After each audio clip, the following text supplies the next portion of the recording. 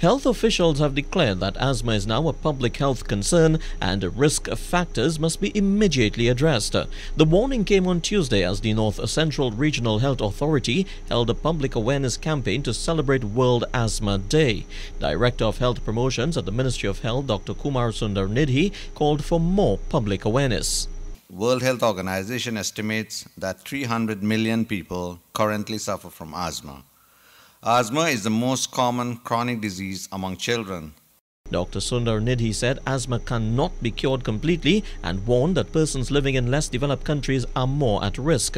He praised the recent anti-tobacco legislation as one way of helping to stem the problem.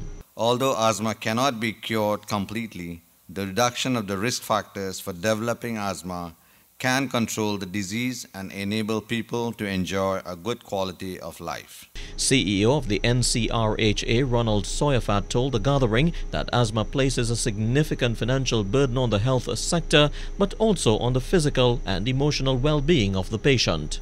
I know what it does to quality of life, having grown up uh, missing quite a lot of school because of asthma. For CNC3, I'm Roshan Sukram.